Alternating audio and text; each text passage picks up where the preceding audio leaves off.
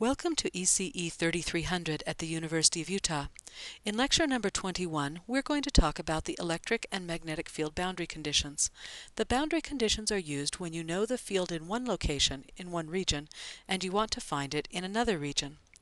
Let's first review the names of things we're going to be using in today's lecture. The electric field is E, the magnetic field is H, electric flux density is D, magnetic flux density is B, permittivity and permeability are shown as, as here, and we can see these two constitutive relationships that tell us how E and D relate and how B and H relate. Now, as we said, the boundary conditions are used in order to find how the field in one region changes to a field in another region. Let's say, for instance, that we have region number 1, which is air, and region number 2, which is water. There are two electric field boundary conditions, one for the tangential electric field and one for the normal electric field. The tangential electric field equation boundary condition says that the two electric field the tangential components of the electric field are equal in region number 1 and region number 2. Is my picture drawn to scale? That would say that E2t is equal to E1t. The tangential fields are anything that is parallel to the surface. No, I can't say that this figure is exactly to scale because E1t should be equal to E2t.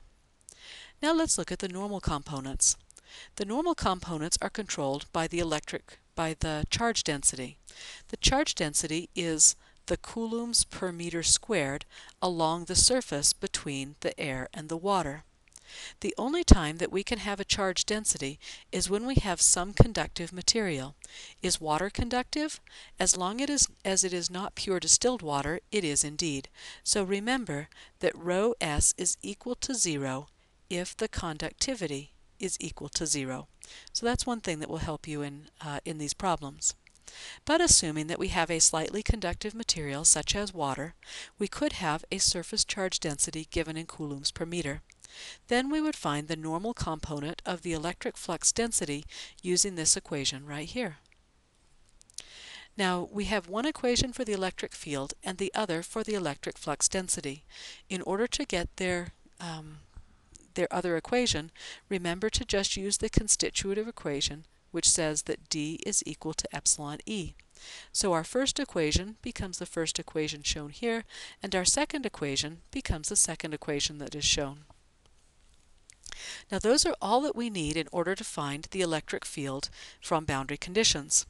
What you do is you take the incoming electric field, that would be E2 in this case, and you break it into its tangential components shown in red and its normal components shown in blue, and you apply either the, the first equation in either of its form and the second equation in either of its forms.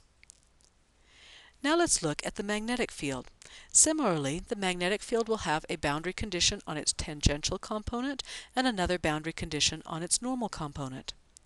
The tangential, elect the tangential magnetic field is equal in both cases, as shown here. Again, is this one drawn to scale? No, because H2t should be equal to H1t.